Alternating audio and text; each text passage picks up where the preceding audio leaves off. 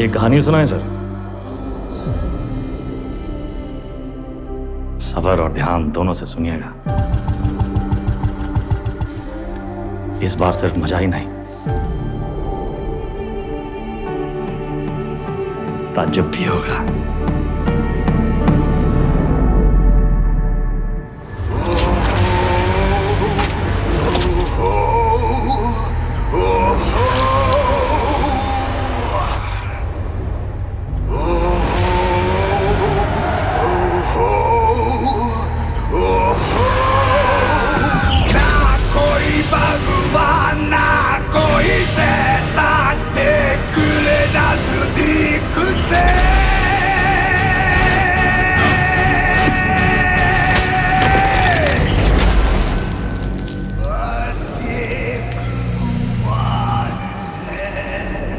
अच्छे और बुरे में चुनना तो बड़ा आसान होता है, सर। लेकिन ई कहानी में तो दोनों बुरे हैं।